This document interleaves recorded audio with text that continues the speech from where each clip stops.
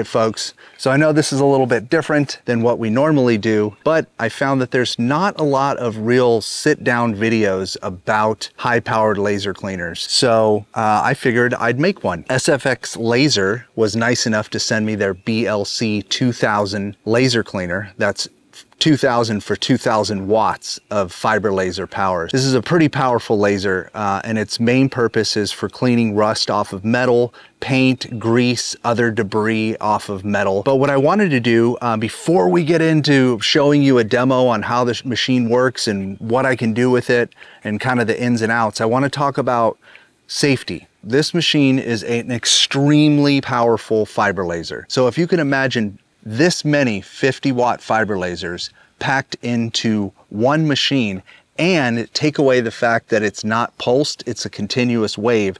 That's what's rocking inside this machine. But before we get into more of the nitty gritty, let's go ahead and talk about safety. Respirator, gloves, safety glasses super important. And then the last thing is you saw that I was wearing a jumpsuit and that was because actually I was outside laser cleaning stuff. I came inside later and my wife was like, what's that smell? What are you talking about? I don't smell anything. You know, I went and smelled my clothes later and you could actually smell some of the fumes we're getting on my clothes and stuff. So I chose to get a, a, a, pair of coveralls. I would recommend that those are the things to wear when you're doing high powered laser cleaning. All right, so let's get down to business. So before I put all my safety equipment on, uh, let's talk about what we're actually going to laser clean first.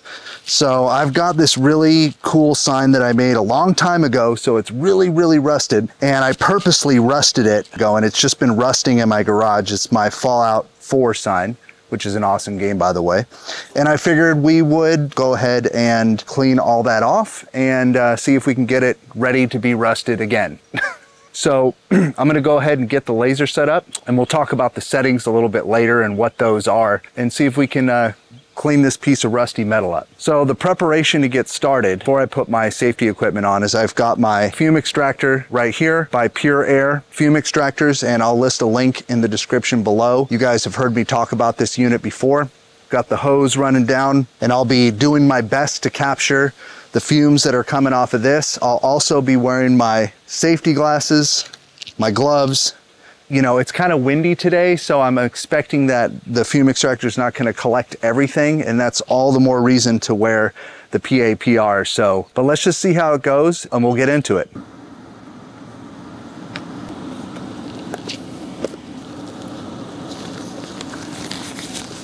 All right, so I've got the beam width at about 80 millimeters wide and I've got a set speed that I'm going to be that the galvo mirror is going to be going back and forth based on the chart that they provided me. And one really important thing to remember is that you want to be mindful of where your fiber optic cable is which also has the cooling lines that go into the head because there's actually active cooling that goes into the galvo head and back out to the giant chiller that's in the machine to keep the laser head cool. So you want, while you're working, you want to make sure that you're not going to step on your cord and crush the fiber optic cable. Keep that in mind. It's got a safety feature built in where you've got to, if you just tap once, nothing happens. But if you tap twice, you can see that. So I always do a little test first. Make the beams the shape and the distance that I want, and then we go ahead and get into it. Here we go.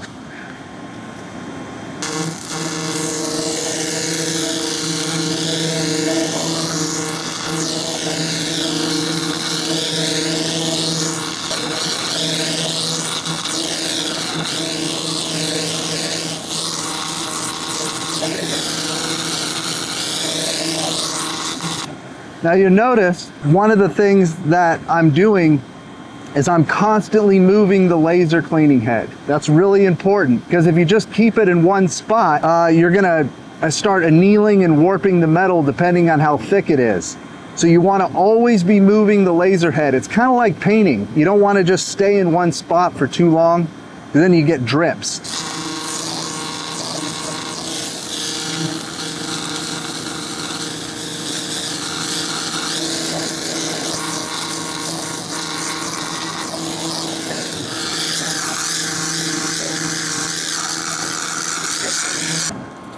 Gonna put my gloves on because I'm gonna touch, rotate it so the area I'm working on is closer to the fume extractor.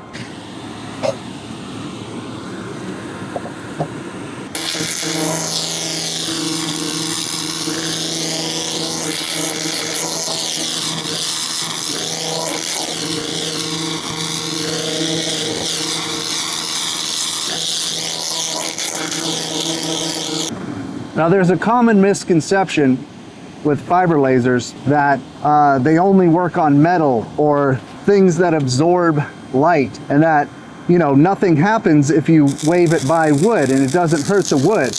Well that's true but it's mostly untrue with a with a laser like this. If i hold this laser in one spot on this piece of wood right here and don't move it watch what happens. It definitely will affect wood and all other organic material depending on the power and how long you leave it on there.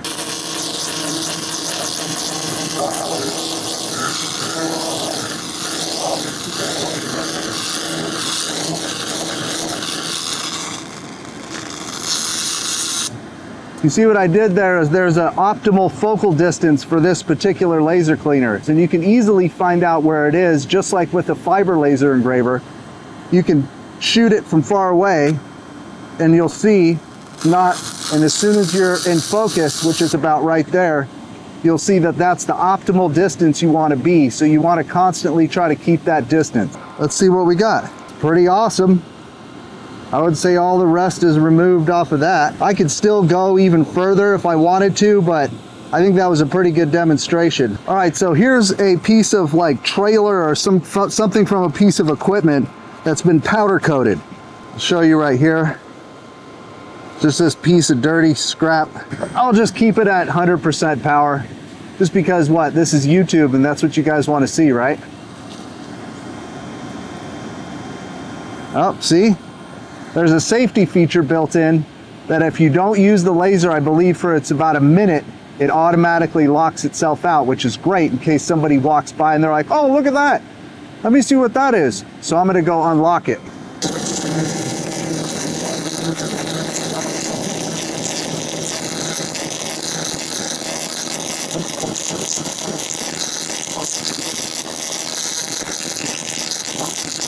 Wow, that was really fast.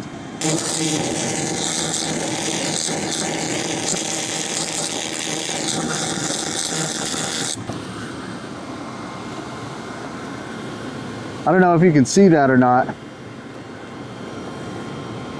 That was just that one section I did. It took like a couple of seconds to get that shine on there. And that's some really, really thick powder coating as well.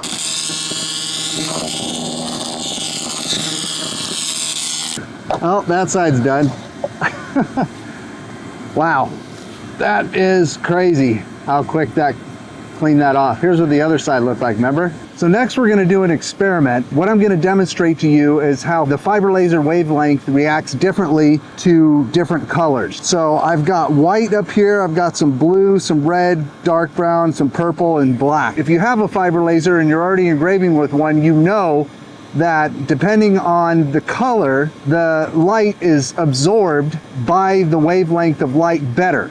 So the lighter the color of the object, the more light displacement or diffusion happens with fiber laser technology. And that's true for laser cleaners as well. This is just spray paint on wood. Let's go ahead and take this and I've dropped the power down to 20% on the laser cleaner. And we're just gonna run right down and see which gets removed quicker based on what I just told you for science. All right, so here we go. Try to get right on. I got my close camera so you can see Whites up top, darker colors down below. Start from the bottom and go up.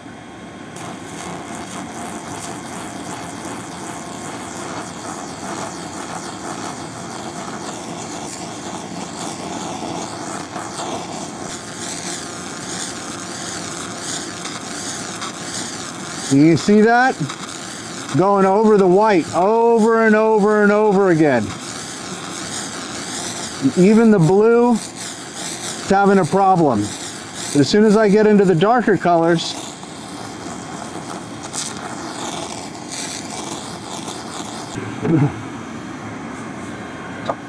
so you can see here what I'm talking about. Now let's try to up the power and see if we can blast through that blue and white just by using pure brute force. Yeah, I've gone up to 70% power.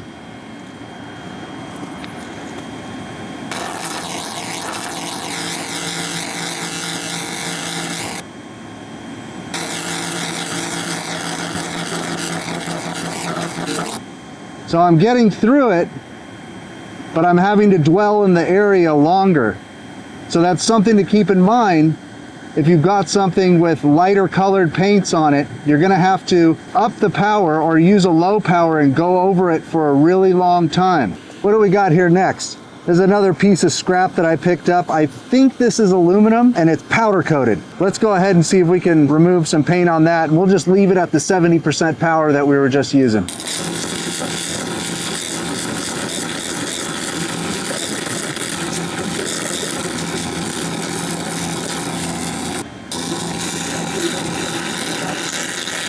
Definitely aluminum for sure and definitely took that paint right off. So let's see how hot that is. Oh, we're like 180. It's hot. So you want to keep that in mind when you're laser cleaning metals is how thin is the metal? Is it going to get so hot that it starts changing the color of the metal? If that doesn't matter, then that's fine, but is it gonna start warping the metal? Those are just some things that you need to keep in mind with laser cleaning. And I found that also, if you notice I widened the beam on that second part, if you keep the beam the size of the area that you wanna work with, it's it seems to do better, it's more concentrated. You have a really wide beam if you want to with this machine, but it's for doing big, you know, giant areas. Uh, it's always better to adjust your power a little bit lower and try to keep the beam relative to the object that you're working on, if that makes sense. So that little part that we did earlier, I, I, kept the beam about like that, and that seemed to work really well. If I would have spread it out like that, it also spreads the energy out as well. So something to keep in mind. So here's a perfect example on this shovel. I had the beam as wide as it could possibly go, and it made sense for this application so I could get rid of a lot of rust quickly. All right, so now that we've had our fun outside, I figure I'd show you some of the startup procedures things you need to pay attention to, and some of the basic settings on how to set the parameters of the unit. A couple things you want to know. The front opens up, and this is where the laser source is housed. It's a max laser source, and like I said, I think they have different options for laser sources. It does come with a key and it has an emergency stop. So you have a separate key for the laser source itself. You can keep that handy and only bring it out when you need to turn it on. You do have to turn the laser source on. You have to turn it on here as well. Uh, I always just kind of keep it on so it's ready to go once I power up the main unit. This is the chiller. So the chiller is what keeps the laser head cool and everything else cool inside here. It's extremely important that you keep the water level. You fill this up as soon as you get it. You want to fill it all the way to the top of the green. Right now I'm about halfway down, but I'm still in the normal threshold and you want to use distilled water. You just unscrew this little cap here, pour your water in until you see the little bubble get up to top of the green and then cap it off and then always keep an eye on your on your chiller water level. That's really important. This thing has to keep cool because it's so powerful. And then if you ever need to drain your water, you've got your drain right here. Inside here is where you're going to get the goggles that come with the unit. You saw me using a different pair of goggles. That was just a preference I had because it had the side shields. And I got my goggles from NOIR. Uh, and I'll list a link below on where I got those. But these are the ones that come with the unit. And they are rated for this wavelength and they are optical density of 6 plus. So, and they're rated for 1064 nanometers. And then the gloves will come in here uh, as well. They send you a pair of gloves. They send you some lens cleaning kits. And we're not going to talk about how to clean the lenses and get into the laser head. That'll be on a separate video. And another thing that comes in there, not the actual lens itself, but some little protective lenses that are protect the actual lens before, and those can get swapped out. You're supposed to inspect the protective lens after every use to make sure that no dust or debris has gotten on that protective lens. And if it does, they give you like six or seven replacement ones. That's something to keep in mind is I was told by the manufacturer that you should always inspect the lens protector. It's like a little shield inside there uh, after every heavy use to make sure that no, nothing's been building up on there because that could definitely hurt your laser head. All right. So that's it. I mean, it's super basic inside. That's what's going on there. And now we'll move over to the control panel and the startup sequence. All right, so this is the control panel of the unit, and you've got your emergency stop, your indicator that the power's on, and then you've got your master laser enable right here. You're going to want to plug in the unit. Uh, once again, this unit does not require three-phase power supply. I don't have three-phase power, and I thought that lasers like this run off of three-phase power, and um, super cool. This one doesn't. But basically, it's the same kind of power that you would run a double electric oven on. So to start up the unit, you're going to want to undo the emergency stop, let the unit boot up, and then it's going to present you with these two options. Now, I'm not going to get too deep into the settings, the, the really nitty gritty settings. Um, and most of those settings, honestly, you're not going to want to mess with. So, um, and if you are going to mess with them, I would definitely reach out to SFX Laser and make sure you know what you're doing before you mess with those settings. But the main settings that you're going to be using are going to be in the cleaning settings. So you're going to hit cleaning and it's going to ask you for an admin password, which you can set yourself. By default, it's just set to the number one. So you've got sway, air, laser, swing, power, and a big ready button in the middle. It's a very simple interface.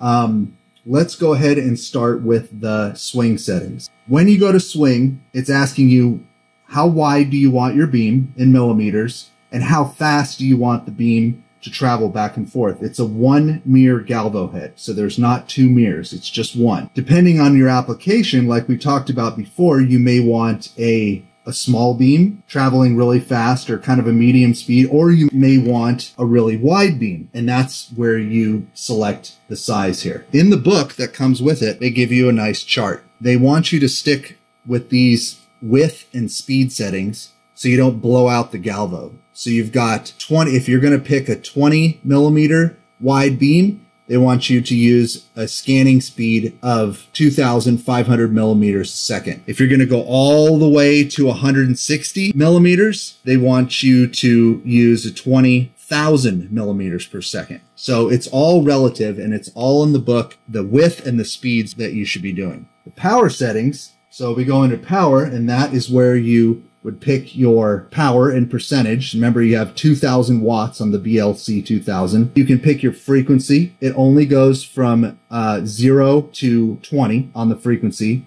Uh, air delay, I don't mess with. Air off, I don't mess with. And the duty cycle, uh, I just leave at 100. And then when you're ready to laze, you need to make sure that the master laser enable button is on, which is right here. I'm going to turn that off now because we're not going to be laser or anything, but you need to have that button on. And then you're going to hit sway and you're going to hit laser and it's going to give you a warning. Please confirm the surrounding environment, no flammable or explosive articles, remove irrelevant personnel. Love that. And then you go back and you should be able to go over and use your laser cleaner. That's in the in the settings, uh, just a really brief overview of how to operate the settings and how to select your power, your beam width, and your speed. It's that simple. That about wraps it up for this video. I hope you enjoyed watching this video as much as I did making it. And if you got value out of it and some entertainment, make sure you smash that like button and leave a comment below. It helps tell YouTube that this video is awesome and should be shared all over the place for everyone to watch. One of the other things that we didn't really get into is the different kinds of laser cleaners. And there is actually another model that SFX Laser makes called the LC100. It's a 100 watt pulsed MOPA portable fiber laser for doing finer detailed laser cleaning work. So if that's something you think you need for your application and not the brute here, the BLC 2000, you might want to look into the LC100. I've listed links in the description below on where you can get those. Believe it or not, you can get them right on Amazon and the shipping was really, really fast. So last but not least, I just want to thank all my subscribers and everybody that's active on the channel. Thank you so much. It means a lot to me. It makes me excited to make more videos. So until next time, I'll see you right back here on Laser Engraving 911.